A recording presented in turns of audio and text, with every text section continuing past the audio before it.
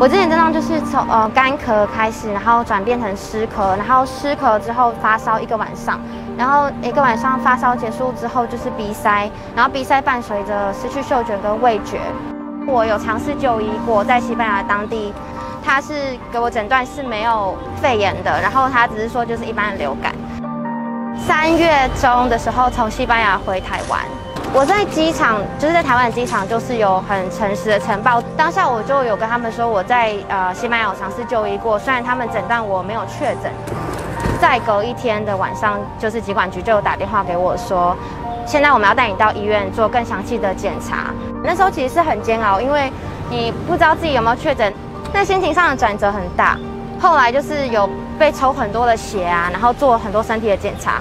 照 X 光啊什么之类的，那一方面也很安心，因为台湾做的这么周到。对台湾的医疗相较之下，西班牙的就是差太多。差不多是一两天，结果就出来，就是医生打给我说：“哦，小姐，你就是确诊了。”这样，当下就是痛哭，呃，很担心我曾经在西班牙接触过的那些朋友，会知道不是自己的错，不是自己故意要传染给他们，但是会觉得还是会有愧疚感。那我的父母其实。他们真的给我很大的支持，然后也让我一直有正能量，是因为他们非常非常的坚强。就是连我知道我自己确诊，我是哭着告诉他们，但是他们都是非常镇定的说，没关系。那现在知道你是确诊，那你就好好的治疗就好了，不要担心太多。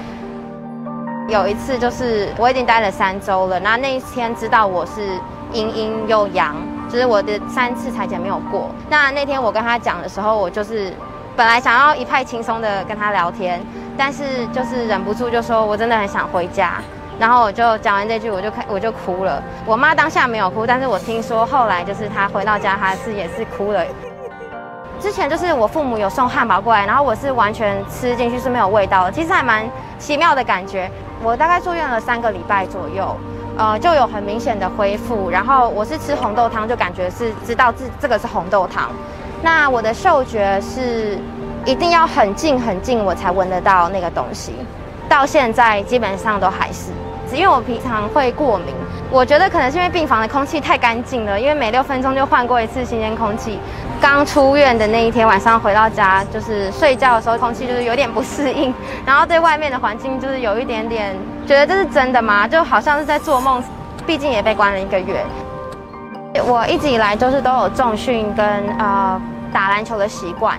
确诊之后，就是我就是到隔离病房了。那当然没有办法做这么剧烈的运动，所以我只会在病房内做做很简单的瑜伽之类的。一出来后，我就有在家里的跑步机试着跑跑看。现在的话，就是我跑步机跑可能五分钟左右，我就觉得肺部在好像在燃烧的感觉，心肺功能没有以前好。平常就是剪剪影片啊，然后看看书、看看电影这样子，然后就度过这个十四天的自我管理。因为十四天就会去医院复诊，那那时候就能够更清楚自己的身体状况，这样子出门也会比较安心。啊，我很想等疫情过去的时候，就可以赶快重回健身房，可以去逛街啊，然后吃一些好吃的。哎，看到了！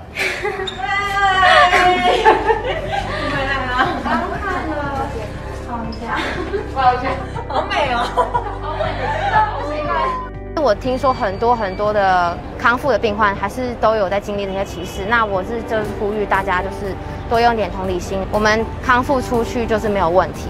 我非常幸运，然后我的父母、我的朋友都不会惧怕我，然后也都没有让我感到有歧视的现象。